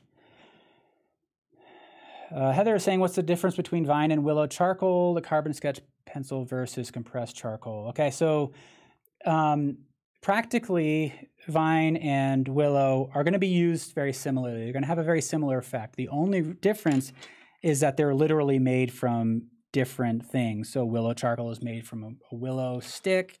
Vine charcoal is made from grapevines. Uh, but they're made from the same process and they have a very similar uh, kind of use in the process, and I'll interchange Vine with Willow. Um, the uh, you know some I believe. I don't pay attention enough to the differences between them, but um, some tend to be kind of scratchier and have more imperfections in them than others. Um, and and I, I want to say that is typically the willow charcoal, but I'm not I'm not 100% sure. Um, and sometimes I want kind of a harder charcoal that can sometimes be, you know, that you play with. So, but try that. And then a carbon sketch, um, it, it's, I believe it's essentially graphite and charcoal powder kind of mixed together, but I'm not 100% sure.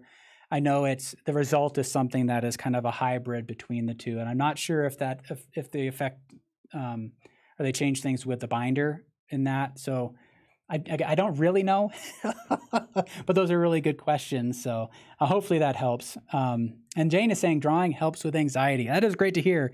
It certainly does for me. For me, it's this is what brings my brain into focus um, more than anything else. Um, all right, so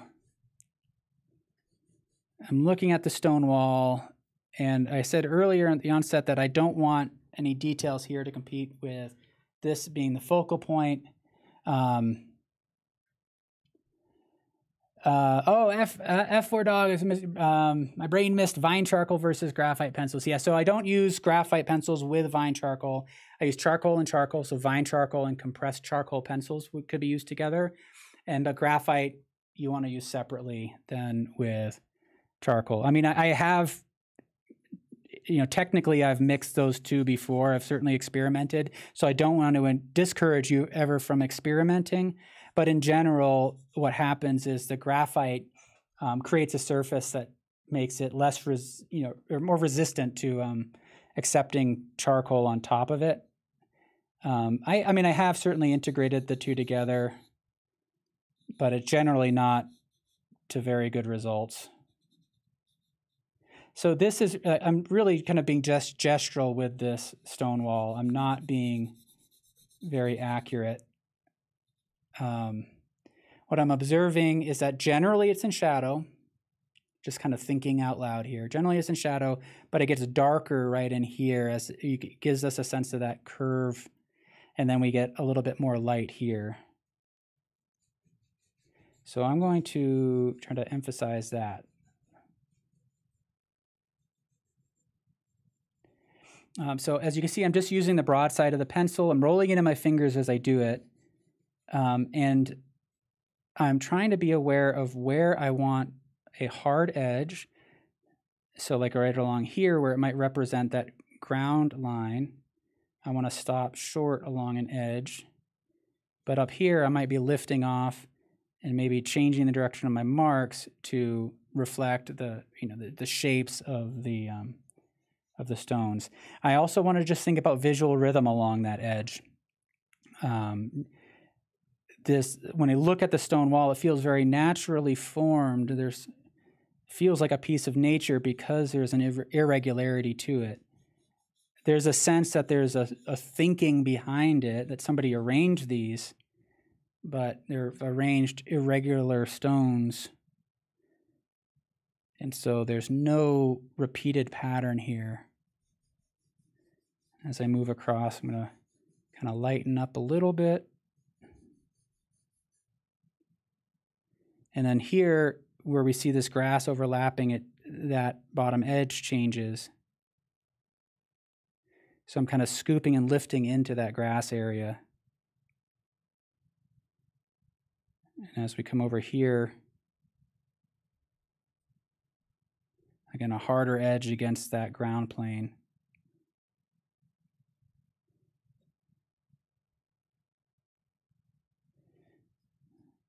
So again, just thinking about shape and direction of the marks. And then I can kind of emphasize the horizontal nature of this ground plane by changing up the direction of my marks a little bit. As I move down here.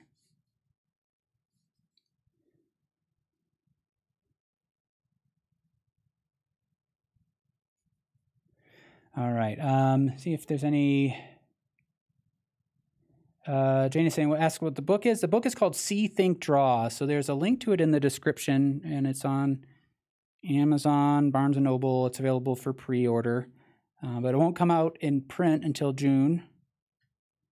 Um, it covers a lot of the stuff we do here. I tried to simplify it down. In, in the book, I tried to think through like what are really kind of the essential skills and build it on this idea of giving yourself specific projects to work on so that you're you're developing particular skills through specific subjects. Um, because that's what we do as artists. You're gonna, you know, if you take a drawing course, you, you're gonna start somewhere. You're gonna learn a lot of the basics, and then you just keep learning them over and over again. You keep challenging yourselves to understand those basics more deeply, and you know, in general, and you know, as you in general, when you learn things, you keep you, you keep building on to previous knowledge, and you do that with art to some degree. But a lot of what you're actually doing is expanding a core concept and actually getting to know those core uh, those core concepts with just a, a greater and, and, more expansive um, kind of nature and and so in order to do that you you just keep challenging yourself so then picking subjects that can challenge you in a particular way that's going to help you to grow. That's kind of what the the overall philosophy is. All right, so I'm going to let me see where I'm at. It starts to read like a stone wall here. So when I like quick quickly glance at it, I'm like, all right, that reads somewhat like a stone wall, not quite there. So I need I need to continue to work on this and find that right balance where I can get an initial reaction to this as a stone wall while still recognizing this as the primary focal point. Um, and again, this is where there might be some subjectivity, and you might uh, interpret this differently than the way I do. So I'm going to switch to this subtractive process and erase out some of these lights on the, the stones, especially along the top edge here where that light seems to catch it more. That helps to create some visual separation.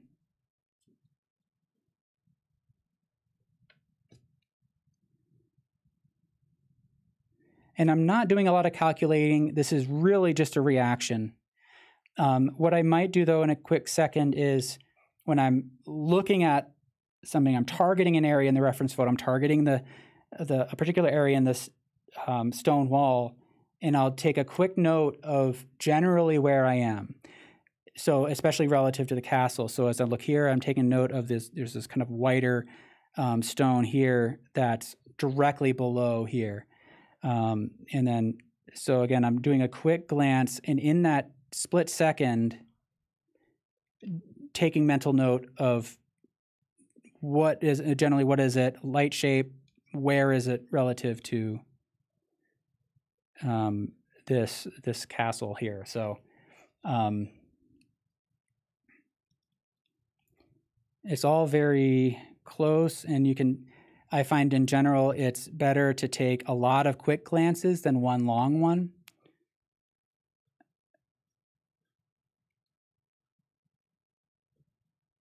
I'm going to try to just make some general observations about the nature of the stones. Where are they bigger? Where are they flatter, thinner? Like you, generally, the larger stones are at the bottom, and you work your way to smaller, thinner stones at the top.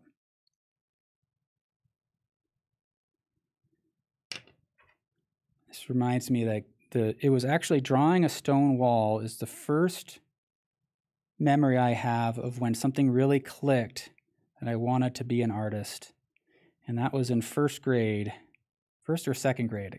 Gosh, I can't remember now exactly when. First or second grade, we had an illustrator come in and and help us with writing a story and, then illustrating it. And I, I remember my story, and I wanted to do a stone wall, and I drew all the stones as perfect little circles. And this, te- and this teacher said, You know, you think about a stone wall, she got me to think about that the fact that they're all different sizes and they lock together. And that blew my head. And um, and then I started creating that with irregularity and it got me to think of like gosh what else am i drawing that i'm not really looking at? If i think about what happens in life and i'm not kind of caught in my um, you know kind of preconceived notions or i'm not just kind of reacting to an idea what um, you know how, how, would that influence my marks? And uh, stone walls are awesome okay so now it's starting to come together so I, i'm starting to suggest stones in this area and what will happen is that you'll notice that you know finishing one area might create the impression that that the rest is finished. I don't think I've reached that point yet, but I'm looking for that to kind of take off. Something will click and we say it's just finished enough for me to accept it as a stone wall and actually start to project um, project information onto it that doesn't exist you know, I want I want to be able to look at this in my mind to make up stones that aren't there, light that isn't there.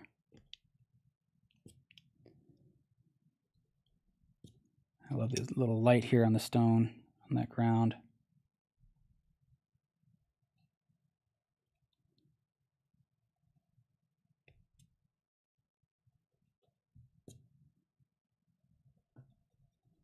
Wish I remembered who what that what teacher that was. I believe it was somebody who came in. It wasn't it wasn't a teacher. It was somebody that the my teacher had brought in to teach us. That was awesome. Teachers are the best. If you are like a public school teacher, private school teacher, professor, I give you nothing but gratitude. I think especially like public school art teachers are the unsung heroes of the art world.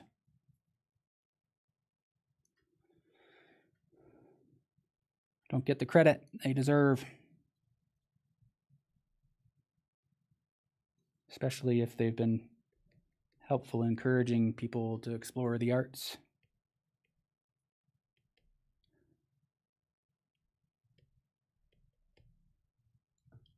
All right.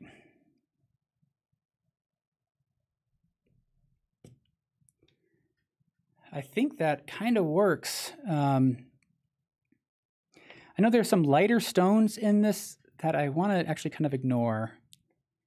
Um, actually, what I want to do is provide a little bit more structure to the top ridge.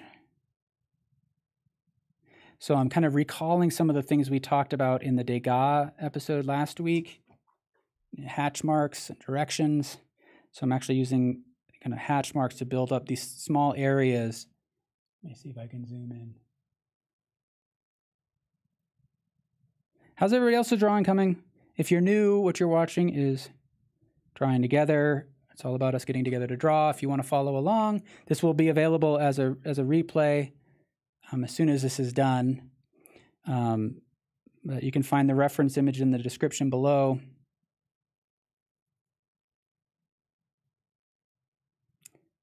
And you're welcome to follow along, share your work when you're done with artistsnetwork.com. There's a link to there as well.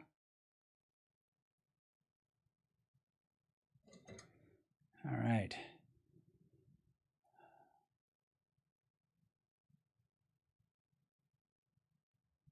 Oh, what do I think? What do I think? What do you think? What do we all think?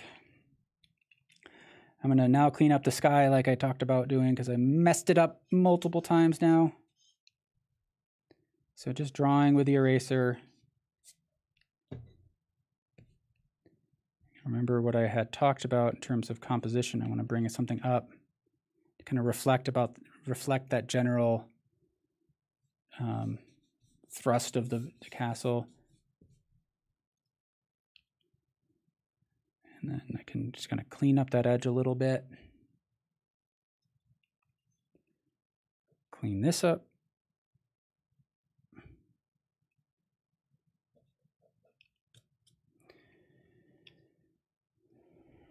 And actually, I think what I want to do is just kind of lighten this. I'm going to actually create a kind of a wash with the eraser here.